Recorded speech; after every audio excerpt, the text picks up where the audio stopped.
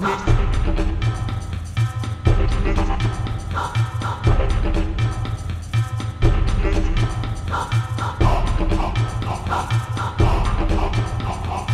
Avec la loi portant sur la nouvelle organisation territoriale de la République, dite loi Notré, les communautés d'agglomération sont désormais compétentes pour l'aménagement de marchés de gros. Sur son territoire, Cap Excellence a lancé le projet d'aménagement d'un véritable parc d'activités agroalimentaires qui réunira en un même lieu la vente de gros et une plateforme d'agrotransformation des produits de l'agriculture locale. Mais dans le cadre de la loi Notré, une nouvelle organisation territoriale de la République, Cap Excellence, aux côtés de la région, a des compétences éminentes en matière euh, de développement économique, notamment le problème d'aménagement de marché de gros, avec la gros transformation, la vente, euh, la valorisation des produits agricoles, la transformation, créant de la valeur ajoutée, des emplois évidemment.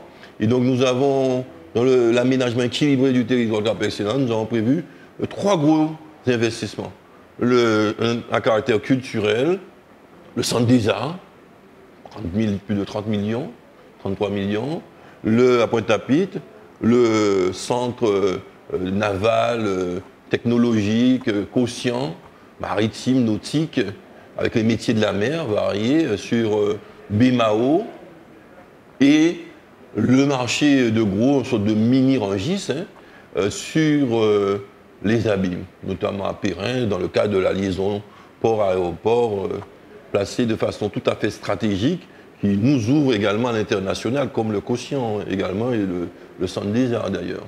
Et donc, euh, c'est dans le cadre de cette vision équilibrée que nous mettons en place cet investissement euh, sur les abîmes la localisation du parc agroalimentaire a été étudiée lors de l'élaboration du PASEC, le plan d'action stratégique économique de Cap Excellence en 2016. C'est le quartier de Perrin, en pleine mutation, qui a été choisi comme lieu d'implantation de ce parc agroalimentaire. Cap Excellence a fait l'acquisition d'une parcelle située à proximité de l'aéroport et de la liaison routière directe port-aéroport.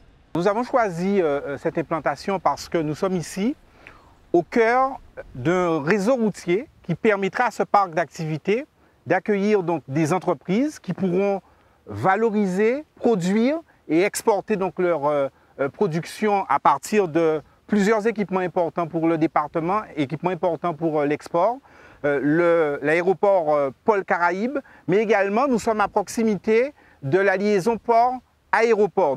Des produits euh, qui seront euh, ici euh, transformés, les produits issus, issus de l'agriculture locale, issus donc de la production carnée, issus également donc de la production horticole, mais aussi de la pêche, feront l'objet d'une transformation, pourront ensuite être mis à disposition des circuits de grande et de moyenne distribution locale, mais également pourront être exportés à partir de ce parc d'activités. Le parc d'activités agroalimentaires voulu par Cap Excellence doit permettre que les agriculteurs puissent vivre décemment de leur métier. Il s'agit dans le cadre de ce projet de valoriser la production de nos agriculteurs, de nos pêcheurs, mais également de tout ce qui concourt aujourd'hui à l'agriculture dans l'agglomération, mais également à l'extérieur de notre agglomération. Donc valoriser les productions, nous avons un certain nombre d'agriculteurs qui sont implantés sur ce site, euh, à Périn euh, aux Abîmes, des agriculteurs qui sont implantés également euh, à Bémao, et nous souhaitons leur donner l'opportunité de valoriser ces productions. Il ne s'agit pas simplement donc de mettre en place un marché alimentaire de gros, mais il s'agit de permettre à des entreprises qui veulent proposer des produits innovants en matière euh, euh, d'alimentation, en matière d'agrotransformation, d'avoir, dans ce cadre privilégié, à proximité du port, de l'aéroport et d'un réseau routier euh, dense, d'avoir donc un foncier disponible et un foncier qui va leur permettre donc de valoriser leur production. Il s'agit véritablement pour nous de permettre aux agriculteurs de mieux vivre de leur métier, de mieux vivre de leur production et à l'agglomération de s'engager euh, dans une démarche donc, de développement économique et de valorisation de notre production locale, de euh, euh, ce qui fait aujourd'hui le cœur de l'action politique et du projet de Cap Excellence, la production locale, soutenir et valoriser cette production locale. Sur les 6000 agriculteurs du département, seule une minorité peut alimenter en régularité les grandes et moyennes surfaces. Et même en ayant accès à ce marché, ils doivent faire face à des difficultés d'organisation pour alimenter leurs clients. Victor Nanette est producteur sur le GFA de l'Espérance à Mornalo. Sur ses 14 hectares, l'agriculteur fait de l'élevage, cultive de la canne et des produits maraîchers. L'implantation d'un marché de gros est une première réponse qui peut lui être apportée. L'intérêt pour nous, actuellement, nous commercialisons par le GMS et c'est compliqué dans la mesure où les clients sont très dispersés géographiquement. Donc euh, ça, demande beaucoup de va-et-vient. Et des fois, un client éloigné, il y avait une petite quantité, on est obligé d'aller le porter pour ne pas perdre le client. Donc, donc ça, génère un coût de transport disproportionné par rapport à la quantité de marchandises. Et je pense qu'il en est de même pour le client aussi. Donc euh, au moment où on parle de, bilan carbone, tout ça, donc euh, si on peut, dans le même lieu, rencontrer tous les clients et, donc euh, éviter de se, déplacer à droite à gauche. ça, fait une économie de temps, de carburant et, tout pour tout le monde. Quoi. Le marché de gros imposera aux agriculteurs des contraintes en termes de traçabilité et de respect de la réglementation, mais c'est un défi qu'ils sont prêts à relever. Du moins qu'on peut jouer par, les, à travers les organismes producteurs où, on met en place des, programmations de, culture. Euh, donc euh, avec un, ensemble d'agriculteurs, euh, si, on s'organise pour, pour programmer, pour qu'il y ait une continuité dans la régularité, ça devrait le faire. Le projet, porté par Cap Excellence, se veut complémentaire des autres marchés de gros qui seront construits en Guadeloupe.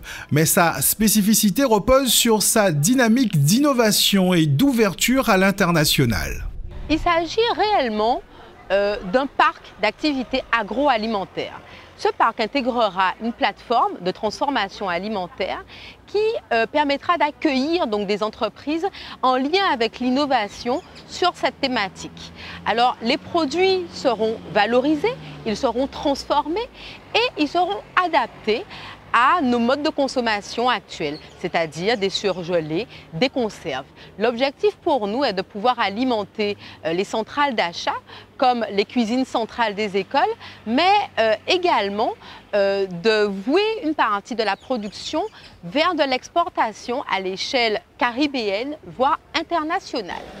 Les unités centrales de production en charge de la restauration scolaire et collective sur les toits communes du territoire communautaire sont donc appelées à devenir utilisatrices des services de cette plateforme. Dans celle des abîmes, pouvant confectionner jusqu'à 4500 plats chaque jour, la plateforme de transformation alimentaire permettrait de disposer de produits locaux prêts à l'emploi toute l'année. Nous avons déjà hein, des produits locaux dans, dans, nos menus et nous proposons des produits locaux à nos enfants, à nos actionnaires. Euh, avoir une possibilité d'en avoir en continu durant toute l'année avec euh, la qualité que nous souhaitons, euh, surtout au niveau de la présentation, puisque vous savez que nous, avons, nous pouvons produire jusqu'à 4500 repas. Il n'est pas question pour nous d'acheter de l'igname à préparer, donc déjà transformé, ça nous convient parfaitement. Durant l'année, près de 4 tonnes de racines locales passent dans cette cuisine centrale. Ça permettrait surtout une diversification de, nos, recettes, euh, de pouvoir avoir par exemple des euh, produits terreux euh, du terroir découpés en lamelles ou en pommes chips par exemple, ou en, pommes frites par exemple pour la patate douce qui est très appréciée des, des, rationnaires. Donc ce serait un bon moyen pour nous, je dirais, de de révolutionner un peu euh, l'utilisation des, produits locaux. Il y a eu quand même une nette amélioration depuis ces années. puisqu'on a l'opportunité d'avoir des produits locaux déjà préparés, déjà épluchés sous vide, par exemple.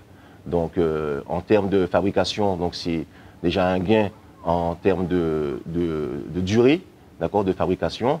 Et euh, on est sûr et certain d'avoir un produit de qualité puisque quand vous achetez de l'igname euh, avec la peau, vous n'êtes pas sûr de ce, que vous pouvez trouver à l'intérieur, ça peut être abîmé et tout. Donc là, en général, euh, on n'a pas de souci en termes de qualité. Euh, les seuls soucis qu'on peut, trouver, c'est en termes de, livraison et, de rupture de, produits. Nous avons quelquefois une raréfaction de certains produits. Euh, nous avons quelquefois au menu de l'igname et euh, le jour de la livraison, on nous dit qu'ils n'ont pas pu préparer l'intégralité pour nous puisque nous avons une très grande consommation. et s'il y a une structure qui peut stocker, qui peut préparer, je pense qu'on évitera des ruptures d'approvisionnement. Et à cette plateforme, agroalimentaire sera adossé un marché de gros pour l'approvisionnement des unités de transformation, des grandes et moyennes surfaces, mais également des détaillants. C'est un espace qui est d'abord réservé aux professionnels. C'est un lieu de négoce euh, sur lequel se rencontrent donc des vendeurs, qu'ils soient grossistes, qu'ils soient euh, producteurs ou qu'ils soient importateurs, et également euh, des acheteurs qui peuvent être des restaurants euh, traditionnels ou collectifs, des centrales d'achat, des détaillants euh, également. Alors l'objectif pour nous, c'est de pouvoir faire l'offre et la demande se rencontrer sur un même lieu, ce qui favorise une stabilité au niveau du prix, puisque le prix gagne un prix est un prix d'équilibre. Alors ce marché euh, de gros, cet espace de vente de gros, traditionnellement, et c'est aussi euh, l'esprit euh, qui est adopté par Cap Excellence, cet espace accueillera surtout des produits locaux. Mais on pourra aussi y trouver des produits importés, puisque l'objectif, c'est d'importer des produits sur lesquels les, pays exportateurs ont un avantage comparatif au niveau du prix. Aujourd'hui, nous avons donc lancé les premières études qui euh, de faisabilité, les études de marché également pour savoir quelles sont les entreprises euh, qui euh, aujourd'hui sont intéressées par une implantation sur ce site. Nous avons également engagé des études pour donc harmoniser notre projet avec d'autres projets qui sont développés dans notre agglomération, mais des projets également développés sur d'autres territoires de la Guadeloupe. Un comité de pilotage euh, a été mis en place, va rassembler donc euh, euh, tous ces acteurs institutionnels, les chambres consulaires, la chambre d'agriculture, la chambre de commerce, mais également la chambre de, de, métier, avec également des restaurateurs, avec également des acteurs donc de la filière de la grande distribution. Et donc c'est cette équipe projet qui va définir donc la vocation économique et les activités privilégiés qui seront euh, donc accueillis sur, euh, sur ce site. Une enveloppe prévisionnelle de 3 500 000 euros a été inscrite au budget de Cap Excellence pour cette opération. La communauté d'agglomération fera appel aux fonds européens dans le cadre du programme opérationnel, mais également au concours financier de l'État et de la région Guadeloupe. Le démarrage des premiers travaux est prévu au dernier trimestre de 2018.